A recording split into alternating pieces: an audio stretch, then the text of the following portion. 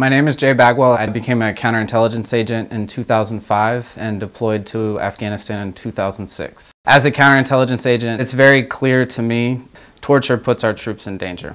Torture makes our troops less safe. Torture creates terrorists. It's used so widely as a propaganda tool now in Afghanistan. All too often, detainees had pamphlets on them depicting what happened at Guantanamo.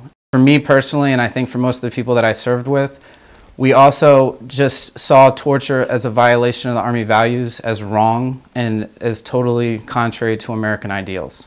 I believe that an atmosphere was created by the civilian leadership in this country where there was a systematic, widespread, premeditated emphasis on employing torture unnecessarily. The United States can't be a beacon for freedom and human rights and the value of law while we ignore international law.